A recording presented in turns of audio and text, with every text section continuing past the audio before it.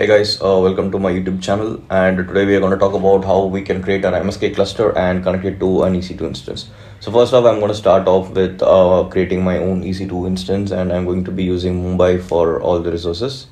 So immediately let's go and launch. So I'm just going to give it a name, uh, EC2 instance, uh, Kafka because we are going to be creating an MSK cluster and I'm going to go with the default uh, options here so that I get my free tier and I'm not going to select a key pair because I already uh, have one and I'm going to allow uh, traffic from public and uh, oops I missed to select yes okay. So I'm just going to select the one which I already have.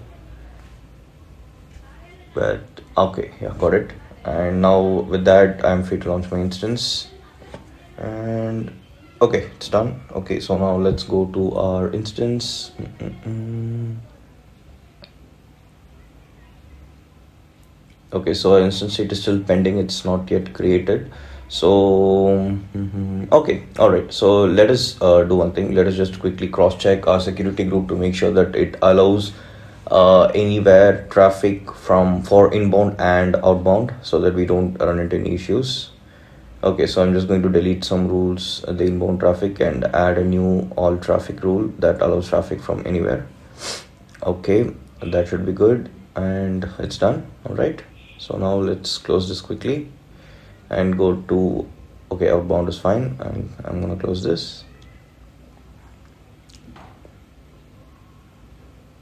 Okay it's up and running and I'm going to copy the public address. So I'm going to connect to my EC2 using uh, SSH and the command is really simple. I'm gonna leave it down in the description as well.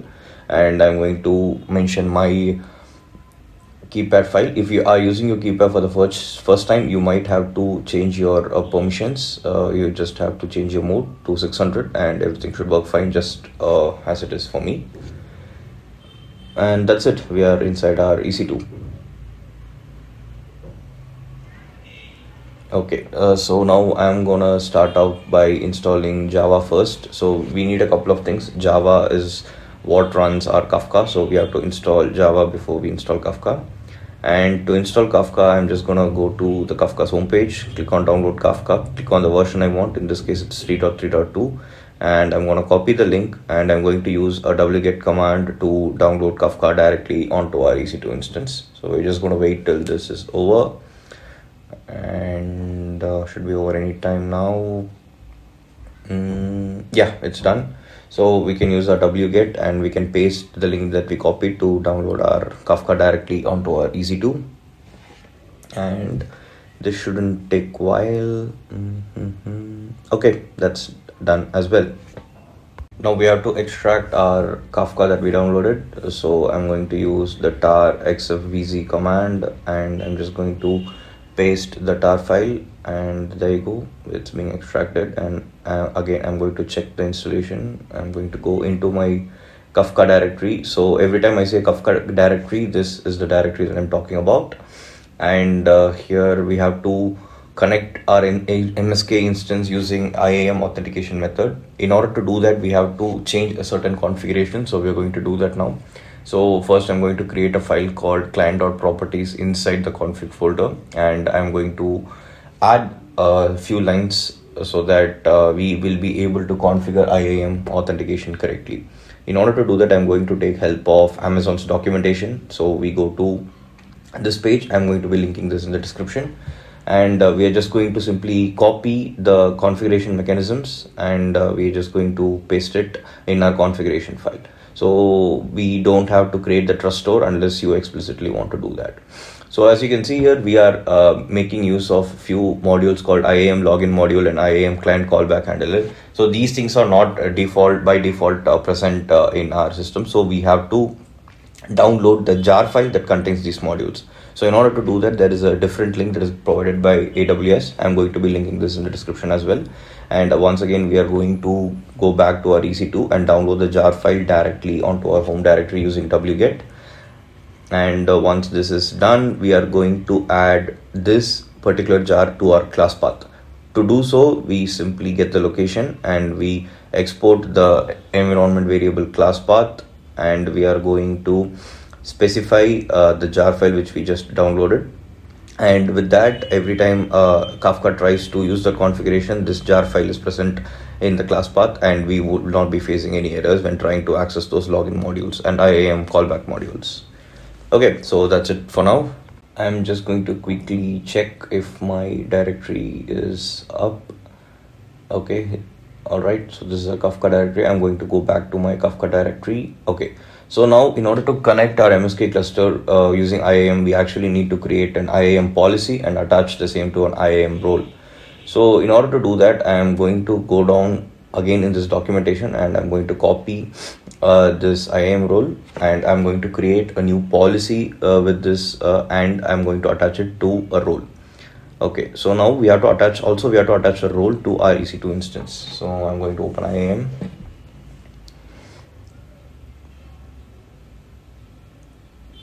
and uh, on the left side i'm going to click on policies. And first we have to create a policy and only then we can add it to a role and we have to attach that role to our ec2 instance. So i'm going to click on create policy here and uh, that's not right. Mm, yeah that's right. And i'm going to click on json and i'm going to paste the json that i copied. So in this as you can see they have mentioned a specific resource. I don't want that. I'm just going to use a wildcard asterisk and uh, this is uh, not uh, necessarily wrong because this is just for demo purposes. In this case if you want to specify a particular uh, arn for msk you can also you're free to do that. And uh, with that i'm going to uh, finish my policy. So i'm just going to give it as kafka iam policy. And no need to do anything else. And just create our policy. And it should be created about now. Okay i'm to click it again okay yeah it's done. So we are going to create a role that includes this policy. So i'm just going to do that and click on aws services click on ec2 because we are going to be attaching the role to our ec2 and add permissions is where you have to mention our newly created uh, iam policy. This should load anytime now. Yeah. Okay so this is our iam policy which we created and i'm going to click on next and a role again I'm just going to mention it as Kafka. IAM role and I'm not going to edit the description and I'm just going to click on create role. And okay we're creating the role. Yeah it's done. We created it. So I'm going to go back to my EC2 and I'm going to click on uh, networking. No I think it's security manage. No. I think it's net securities okay yeah security yeah okay modify IAM role and I'm going to click on the IAM role we selected we created sorry. And yeah so now we can see the I, under IAM role we are having Kafka IAM role which we just created. So with that our uh, authentication mechanism is mostly complete. So now I guess uh, all we have to do is go to MSK and search for MSK and create our MSK cluster. I'm going to open this on a new tab and wait for it to finish loading. Yeah create cluster. I'm going to go for a custom create. I'm going to name my cluster uh, msk kafka okay that is fine. Kafka cluster. And this is going to be provision not serverless. And the version we downloaded 3.3.2 and i'm going to go for a t3 this is not recommended for production. This is just for demo purposes.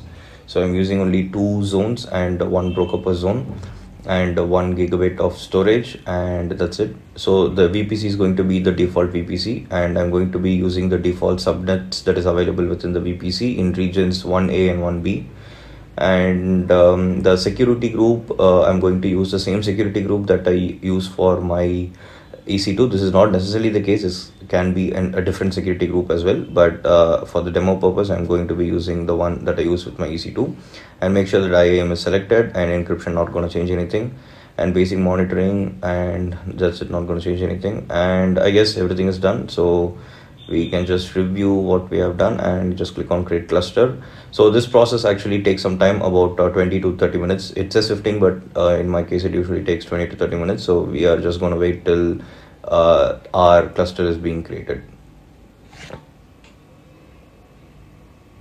So in the meantime i can quickly show you how the kafka installation works. So i'm going to go into my directory and i'm going to go inside the binary directory here you see there are multiple uh, shell files and I'm going to be using only the Kafka topics, the Kafka producers and the Kafka consumers. So these are the only three uh, sh files that we are currently concerned about. We are not going to be using anything other than that in this particular demo.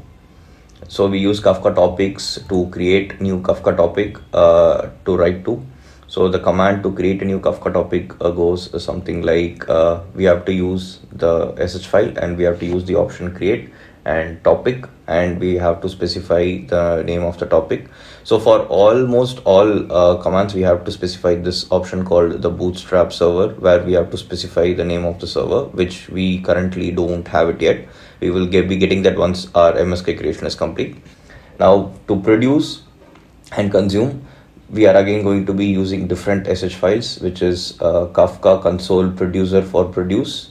So again kafka console producer and uh, we are going to specify the topic which we created above.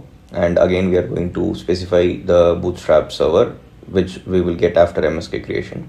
And now to consume we are going to give the same command. Uh, instead uh, is just a small difference is that we have to use the kafka console uh, consumer instead of kafka console producer. And again the topic is going to be kafka topic. And uh, the bootstrap server is going to be something that we get after msk cluster is created okay. Uh, so a small change for console consumer is we have to go and add a new option called from beginning so that uh, we get all uh, the topics and not just the latest ones which are incoming. Okay. So i guess that's pretty much it. So there are few other changes that i have to make. I will show them later on. So now i'm just going to go inside my config and um, so here you can see the client properties which we created. So now we have to reference that client properties into these commands which we created. So in order to do that there is a different command for all three. And for kafka topics it goes something like command config and we have to mention the path which is configs slash client properties client sorry client dot properties. And for kafka produce it is going to be something like producer config and for consume it is going to be something called consumer config so i'm going to change this to producer.config and i'm going to change this into consumer.config okay good. And we the only thing that is uh, needed is the bootstrap servers. So we are going to wait for that till our msk is being created. So now uh, in order for you to check if the properties and configs are correct what we can do is we can go and we can invoke this command with the help option. And uh, here it uh, spits out the list of options that is available. And if we can just scroll down to check where is it? Ah yes. So producer.config so you can just make sure if uh, the command which we are passing is actually correct. Okay so that's what you've done here. So this should work without any issues. Okay so i am done with uh, the command line consoles. And uh, now uh, okay it's okay it's created. That's good news. So now we have to run these commands uh, but before we do that uh, we need to get uh, the bootstrap servers. Oh sorry uh, made a mistake here. Okay we have to get the bootstrap servers. So i'm going to go inside view client information and we have three uh, sorry we have two because we have created two brokers in two availability zones. So i'm just going to copy the first one. It doesn't matter if you copy just one or both uh, it should work in either case so now since we have done that we are going to copy and we have to paste the command. And uh, with this our topic must be created. The name of our topic in this case is kafka topic. And uh, i don't know why it's taking time. I'm pretty sure i have not made any errors. Yeah it's created. So kafka topic is created. Now uh, we are going to produce and we are going to be consuming uh, this at the same time so in order to show you clearly i'm going to create uh, two uh, commands like two split screens. And uh, now here we have to add the class path variable. Uh, remember that we exported once again. So i'm going to log into my ssh and i'm going to uh, again go back to my jar file and i'm going to i'm sorry i'm going back to my home directory and i'm going to export the jar file again under the class path variable. So uh, we have to do this for each command line we pop up. So or if you don't want to do that you can directly add it to the bash profile path. Okay. I don't want to do that. So I'm going to copy the producer command and the left hand side is going to be my producer and I'm going to copy the console uh, consumer to the right hand and uh, okay. So this, okay I have to navigate to the Kafka directory. Uh, that's my bad okay so cd Kafka and yeah so now I guess it should work. And uh, okay so clearly did not work so did I miss something? From beginning okay uh, I pretty sure there's a typo in from beginning. So let me just go back and correct this. Okay beginning okay now everything is good okay I'm just going to copy the command once again and I'm going to clear and paste. Okay i guess the consumer is active. So the producer if whatever i type in this producer is should be reflected in our consumer. And yeah so as we can see i typed hello and followed by world and now on the right we are getting hello world so this is uh, basically how kafka works and uh, on the left hand side is a producer and the right hand side is a consumer. So any any topic any event that is produced in this topic will also be shown on the consumer side. So that's it. Thank you guys. Thanks for watching